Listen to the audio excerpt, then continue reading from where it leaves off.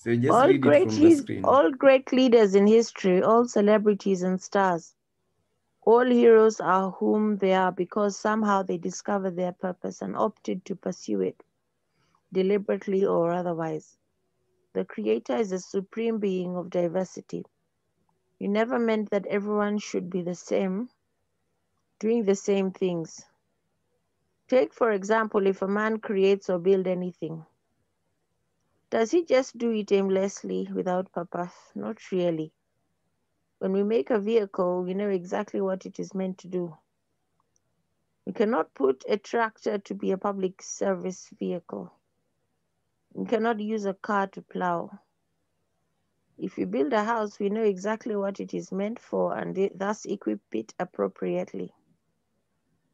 Isn't it therefore logical that the ultimate creator had to have a sole purpose for every creature and thus fully equip them for the predetermined purpose? I think so. It cannot be otherwise. Follow your heart and intuition. Then somehow already know what you truly want to become. Everything else is secondary. If you join me in accepting the above stated reasoning, then you must also join me in this.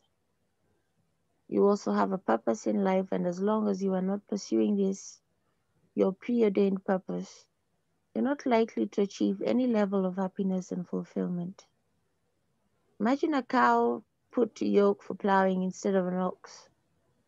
Imagine Mike Tyson, Iron Mike, put to a 100 meters race in the Olympics and not boxing. Imagine Mike, imagine Mike Jordan in a football pitch. No way, could that be you? Fully equipped and endowed for a certain field but trying luck in some other domain? I hope not. If you think otherwise, you are probably right. At this point, it is necessary for us to agree that if you look at your natural talents and gifts, you probably are not far from what you could do best. List some of the things you are naturally good at. Check your academics, your extracurricular activities, your heart, and your talents. If you group these things, you may be able to get a convergence. That should be able to point clearly what you were meant to be convergence between what you are good at doing and what you really love doing, and draws natural enthusiasm from enthusiasm that begets creativity and induces the extra mile principle in you. The extra mile principle, lack of which success tends to elude many pupil. It's never too late. In case you're in a different field and feeling pissed off, to relive your purpose and rekindle your dream. You can do it. Uh, we know of people who joined athletics in their 50s and won gold medals at 80s. Again, it is never too early.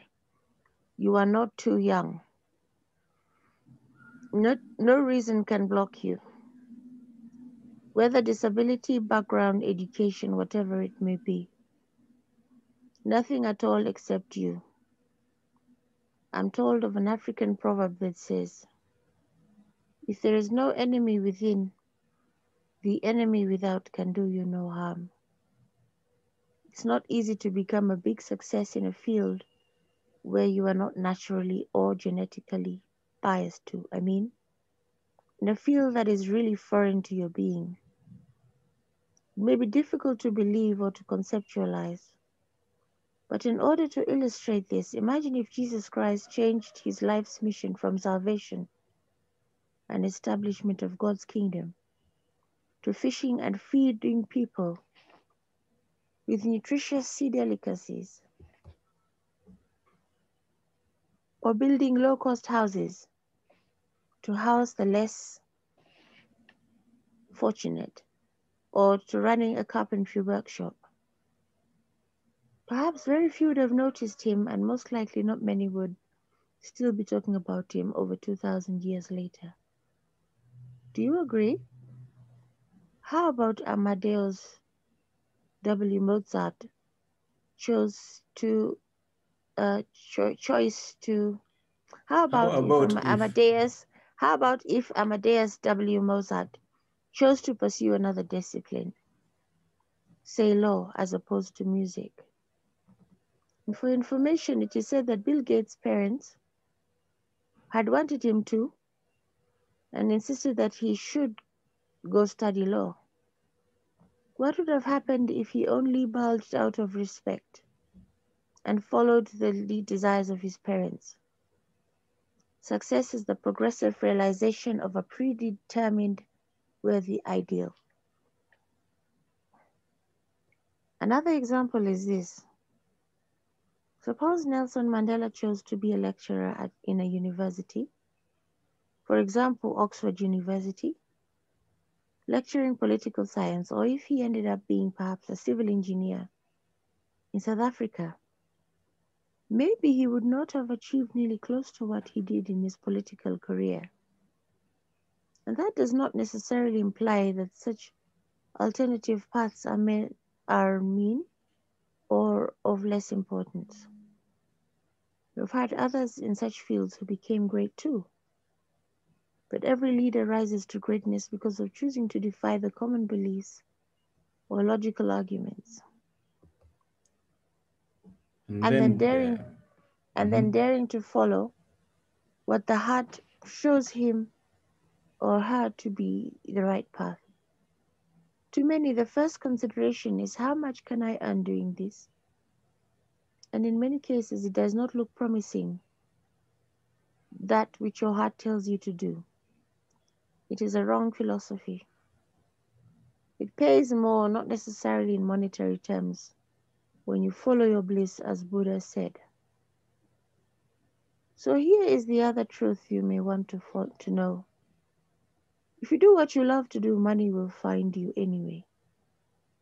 When you are in a field that you are meant to be, you'll be having an unmatched passion that begets creativity and tenacity, most of which are very essential Both of ingredients. which. Mm. both of which are very essential ingredients in your path to the top. Although it is important to know that you may have all the money without satisfaction, no happiness, no feeling of fulfillment. Following your passion will make you feel, look, and live much better, happier, and healthier. The other approach is starting where you are.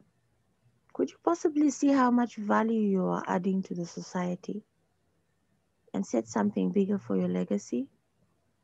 That is, suppose, for example, you are an accountant in a supermarket. Are you able to figure out how much contribution you are doing to the society? And even see the bigger picture and some contribution you could possibly make in that industry? Perhaps even writing a book about your subject to share your experience with others. Making an impeccable career and even teaching people this accounting or even contributing to a curriculum? And what if you were a driver? Could you work on yourself to be the best driver that ever existed? And even set up a school to help others learn how to drive skillfully and ethically? How about becoming the best driver who ever lived? Also in politics, could you be the politician who contributed the most to positive changes and made the world a better place to live in? And thus your spirit remains immortal in the hearts of your people? All these take courage and conviction over and above passion and purpose. You can do it. Now there could be another way to pick your life. Now that now that could be another way to pick your life purpose. If and only if you are able to derive considerable passion doing that which you currently do. Else go the other way, identify your true purpose and going for it.